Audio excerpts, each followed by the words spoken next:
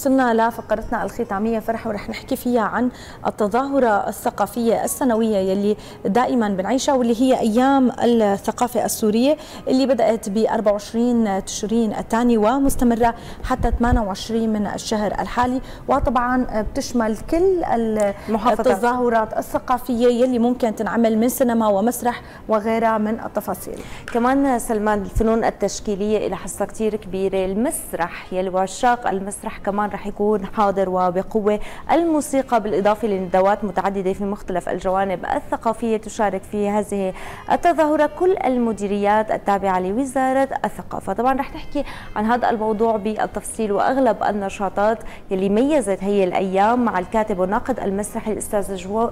الأستاذ جوان جان يسعد لي صباحك يا أستاذ. صباح الخير. أهلا وسهلا يا هلا. أهلا وسهلا. أهلا وسهلا فيك.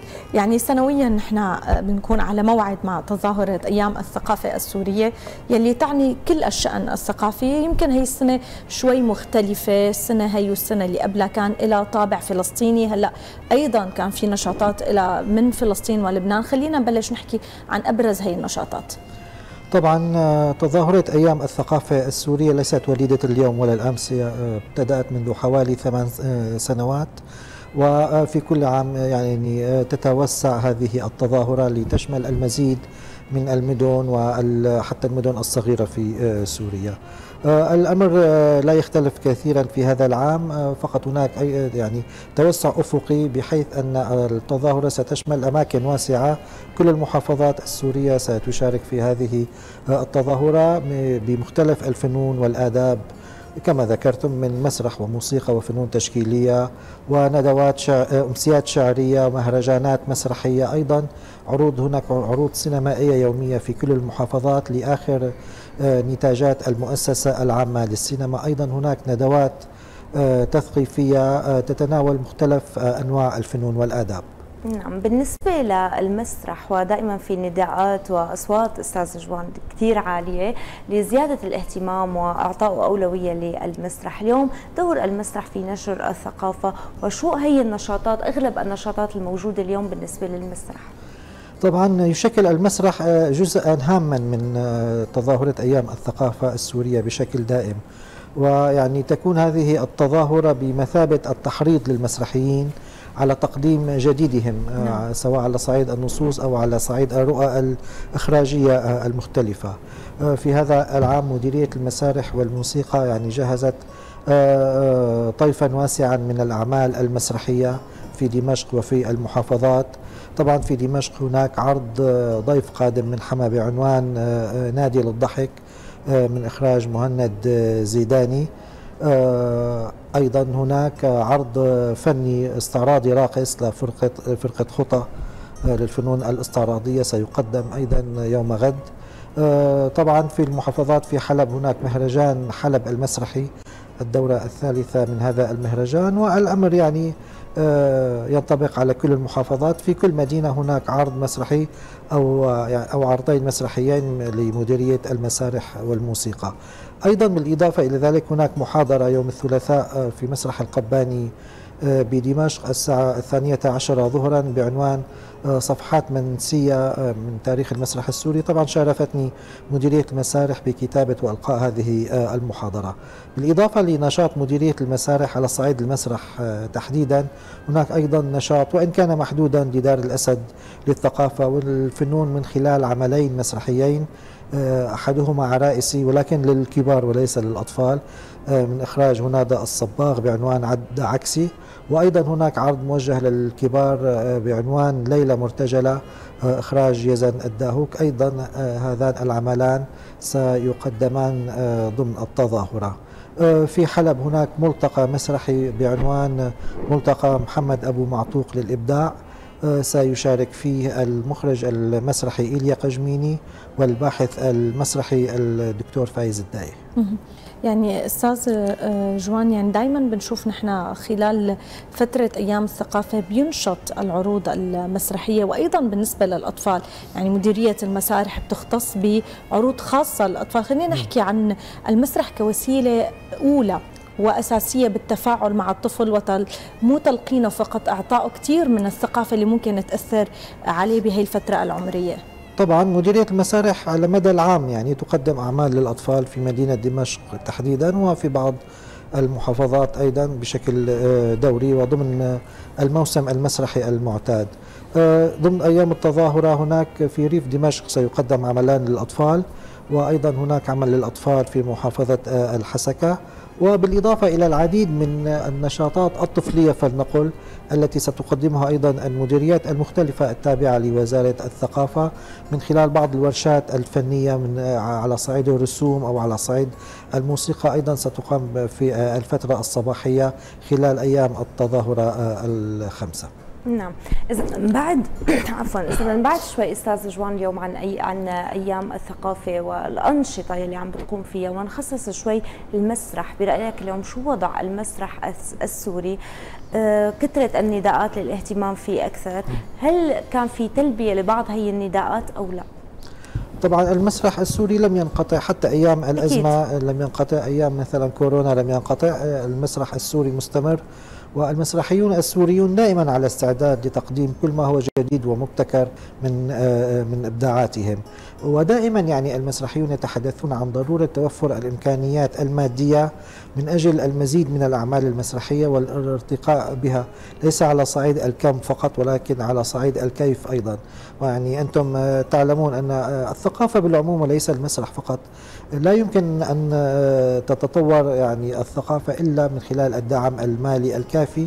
لأن كل شيء اليوم مكلف يعني يعني الندوة أصبحت قامت ندوة بسيطة يعني أصبحت امرا مكلفا. فما بالك مثلا بفيلم سينمائي أو عرض مسرحي أو أمسية موسيقية. مه. كل هذه الأمور تتطلب المزيد من ضخ الأموال وهي أموال لا تذهب سدى بالتأكيد. يعني الثمار الثقافية أكثر أهمية ربما من أي ثمار قد نقطفها على خاصة في وضعنا الحالي. يعني اليوم نحن بحاجة إلى ترميم كل شيء وخاصة الثقافة إذا لم نستطع أن نرمم الثقافة في بلدنا فلن نستطيع أن نرمم أي شيء آخر. أكيد. يعني يتميز المسرح بسهولة جذبه للجمهور لأنه أصلا هو قاعد ومستعد ضمن هاي الساعة أو الساعتين اللي هو موجود فيهم ليتلقى هاي الوجبة الفنية. ولكن يختلف شوي عن السينما. اليوم السينما ممكن تسافر تشارك بمهرجانات بسهولة صحيح. غير العرض المسرحي اللي مثل ما قلت حضرتك التكلفة الإنتاجية بالبلد صعبة. فكيف إذا بده يسافر كادر كامل صحيح. للخارج. هل من جديد هلأ صرنا عم نشوف شوي بدأت عودة مشاركة الفنانين لعروض خارج سوريا؟ هل ممكن نشهد شيء جديد قريبا؟ طبعا يعني كلامك صحيح. آه، في كل مناسبة مسرحية على الصعيد العربي آه، يحضرها أي مسرحي سوري. دائما السؤال الأول آه، مثلا أنتم تأتون كضيوف بشكل إفرادي. ولكن أين عروضكم المسرحية؟ في غصة هذا السؤال يعني موجود لماذا في بحث عن المسرح السوري لماذا في الخارج؟ المسرح السوري غائب؟ ولو جزئيا هو لم يغب بالمطلق هو غائب غائب يعني غائب جزئيا عن المهرجانات المسرحية العربية. ودائما السؤال المطروح أين أعمالكم المسرحية؟ آه، طبعا في العام الواحد نشارك يعني من عمل إلى عملين أحيانا إلى ثلاثة أعمال. وتكون غالبا بدعوات شخصية من الجهة المشرفة على المهرجان وهي التي أيضا تقوم بتأمين يعني تذاكر السفر والانتقال إلى آخره. بالإضافة طبعا إلى الإقامة وهذا يعني من شأن الجهة الداعية بشكل دائم. ولكن مطلوب الآن يعني بالفعل تسهيل ما أمكن يعني تسهيل العقبات تذليل العقبات أمام سفر الفرق المسرحية السورية للمشاركة في المهرجانات الخارجية. وأنا أذكر لك لا يشارك أي عرض مسرحي سوري في أي مهرجان عربي آه، يعتمد على مبدأ الجوائز إلا ويحصد جائزة على الأقل جائزة واحدة, واحدة أو حتى أكثر في هذه المهرجانات والملتقيات آه، المسرحية العربية. نعم. بما أن اليوم حكينا كمان أستاذ عن الوضع المادي وتأثيره على المسرح كمان خلينا نحكي تأثيره على الجمهور يلي آه، بيعشق المسرح وكان يتجه للمسرح. هل يوم إقبال الناس والجماهير ما زالت مثل قبل للمسرح؟ هل الوضع الاقتصادي والمادي وعدم انشغال أو انشغال الكبير للناس عم يسمح لهم يتوجهوا للمسرح أو صارت فئة عشاق؟ المسرح هي فئة المثقفين والأدباء وفئة معينة من الناس؟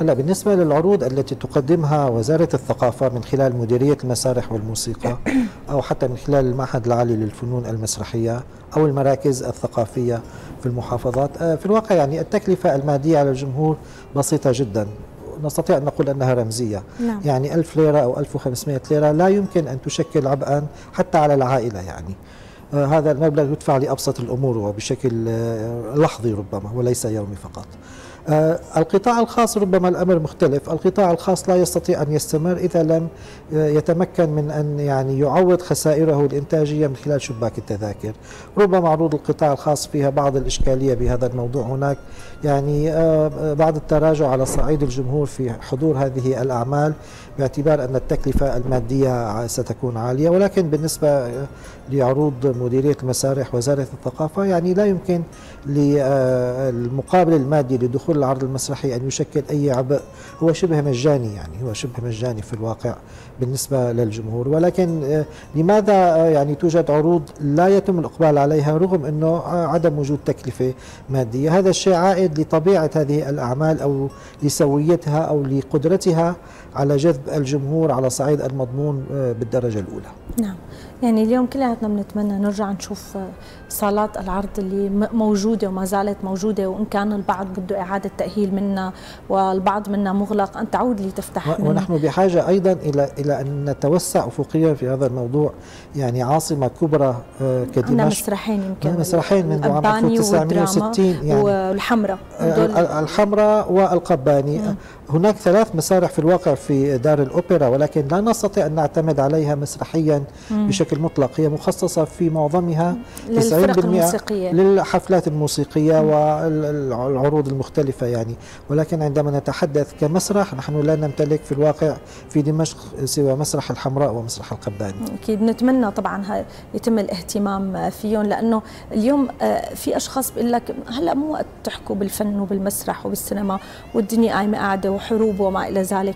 لا ينفصل اليوم الفن طبعا. عن الواقع الآن وقت, وقت الحديث يعني عن هذا الموضوع. تماما. حكينا بالبداية إنه يمكن نظمت وزارة الثقافة عاملة فعالية أو اثنين أو ثلاثة بما يخص لبنان والمقاومة وأيضا بما يخص غزة وفلسطين. قد مهم اليوم الاهتمام أكثر برفع ذائقه الفن وارتباطها بالهوية العربية؟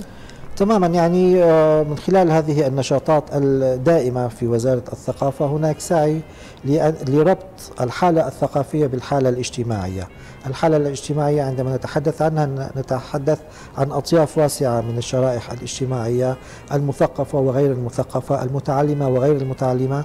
كل هذه الشرائح بحاجة إلى الارتقاء بذائقتها الثقافية لتجنب الأفكار يعني المسمومة التي تصل إلى إلى بيوتنا من خلال بعض وسائل الإعلام خاصة الفضائيات التي تبث الأفكار يعني الطائفية أو الأفكار التي تحرض على العنف، الأفكار التي تشوه معنى الطفولة، يعني حتى من خلال بعض الأقنية الخاصة بالأطفال هناك تشويه لمعنى الطفولة ولبراءة الطفولة، نحن بحاجة إلى فعلا إلى جهد ثقافي إلى نشر الثقافة في كل حي.